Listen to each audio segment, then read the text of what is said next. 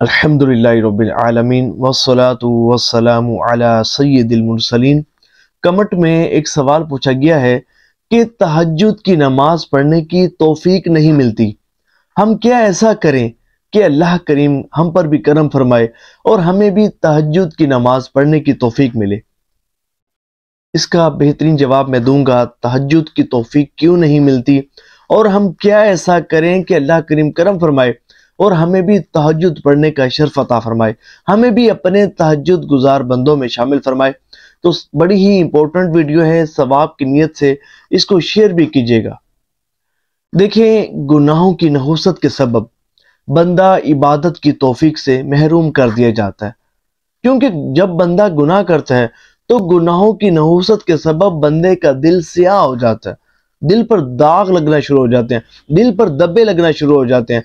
फिर एक वक्त ऐसा आता है कि बंदे का दिल सिया हो जाता है। फिर इबादत की तोफीक नहीं मिलती, फिर ज़िक्र अजकार की तोफीक नहीं मिलती, फिर नमाज़, रोज़े की तोफीक नहीं मिलती, फिर तिलावत कुरान करीम की तोफीक नहीं मिलती, फिर ज़िक्र दरूद की तोफीक नहीं मिलती।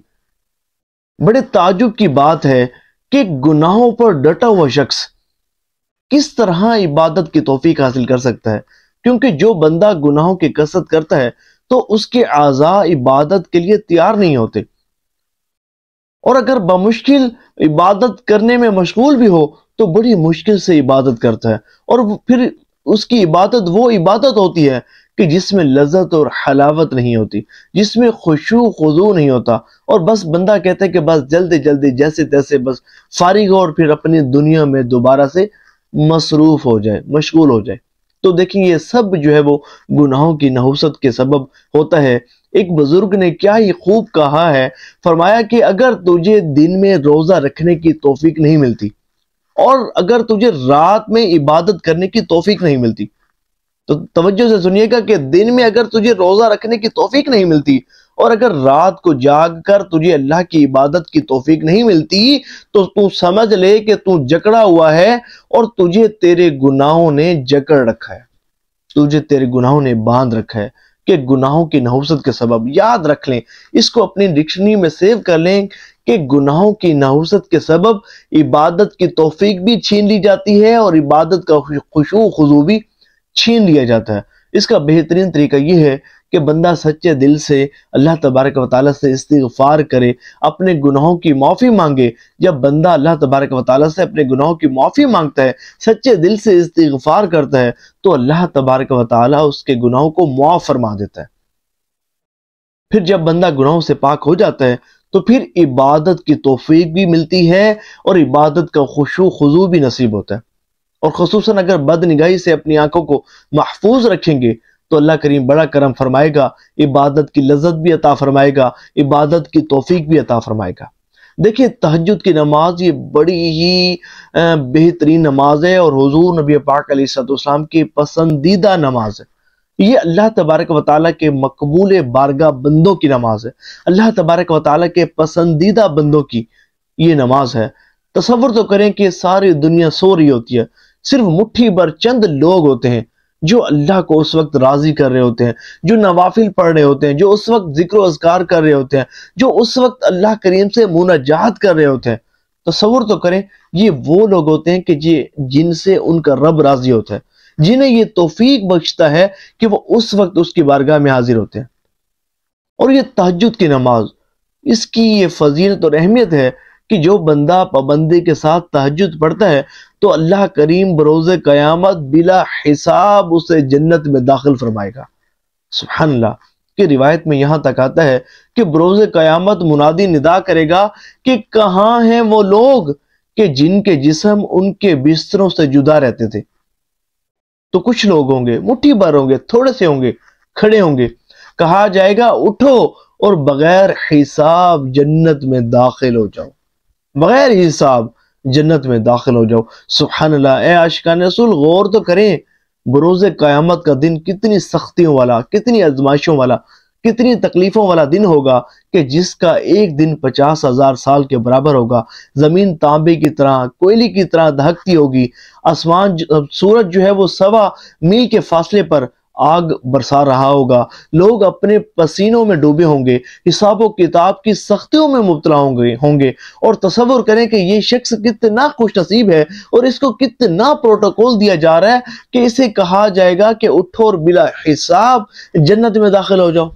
तस्वुर करें कि बरोज़ क़यामत, अहल क़यामत कैसे रश्क बरी निगाहों से इस शख्स को देखेंगे कि जिसके मुतलिक हुक्म होगा कि इसे बिला हिसाब जन्नत में दाखिल कर दो। सुबहान अल्लाह सुबहान अल्लाह और हजूर नबी पाक सलाम ने तहजद पढ़ने वालों के लिए जन्नत की जमानत दी है। हजूर नबी पाक सलाम ने इरशाद फरमाया, मन सलात तहजद अना जामिन लहू बिल जन्ना। हजूर ने फरमाया कि जो तहजद की नमाज़ पढ़ेगा, उसके लिए मैं जन्नत का जामिन हूँ। सुबहान अल्लाह और रिवायत में यहाँ तक भी आता है कि बरोज़ क़यामत कुछ लोगों को सुर्ख याकूती बुराकों पर सवार किया जाएगा। तो लोग पूछेंगे, मौला, ये कौन है? तो रब करीम फरमाएगा, सुनो, ये वो लोग हैं कि दुनिया में जब रात के वक्त तुम सो जाते थे, ये जाग कर मेरी इबादत किया करते थे? ये जाग कर मुझे राज़ी क्या करते थे? सुनो, ये मेरे दोस्त हैं और मैं इनका दोस्त हूँ। अल्लाह तहजद का वक्त। वो वक्त होता है कि जब अल्लाह करीम आसमान दुनिया पर अपनी शान के मुताबिक नजुल फरमाता है और फरमाता है, मई फास्तजीब लहू। कौन है मुझसे दुआ करने वाला कि उसकी दुआ को कबूल करूँ? मई फ़ातिया हूँ कौन है मुझसे सवाल करने वाला कि उसके सवाल को पूरा करूँ? तो सबर तो करें। आप हैं, आपका रब है, रब से मुराजात हो रही है। अपने रब से अपने जो है वो दुखड़े सुनाए जा रहे हैं। अपने रब की बारगाह में अर्जियाँ पेश की, की जा रही हैं। मौला करम फरमा मेरी मुश्किल हल फरमा मेरी परेशानियाँ दूर फरमा मेरी हाजात को पूरा फरमा। मौला मुझे अपने पसंदीदा बंदों में शामिल फरमा मुझे भी हिदायत याफ्ता बंदों में शामिल फरमा मुझे भी अपनी मकबूल बारका बंदों में शामिल फरमा। तस्वुर तो करें कितना इम्पोर्टेंट और प्रीशियस वक्त होता है वो जो तहजद का वक्त होता है कि जिस वक्त दुआएँ कबूल होती हैं। अल्लाह करीम तहजद पढ़ने वालों पर अपनी खास रहमतों का नजूर फरमाता है। जब तो तहजद पढ़ने वालों के चेहरे बड़े खूबसूरत, बड़े दिलकश और बड़े दिल नशीन होते हैं। अल्लाह करीम हमें भी तहजद पढ़ने की तोफ़ी अता फरमाए और इसका बेहतरीन तरीका यह है कि गुनाहों से सच्ची पक्की तोबा करें कि हम गुनाह नहीं करेंगे इस्तफार की कसरत करें दूध पाक की कसरत करें, और इसके साथ साथ अल्लाह करीम से दुआ भी करते रहा करें कि अल्लाह करीम आपको तहजद की तोफ़ी अता फरमाए। और इसके साथ कुछ आपको भी अहतमाम करना होगा ना?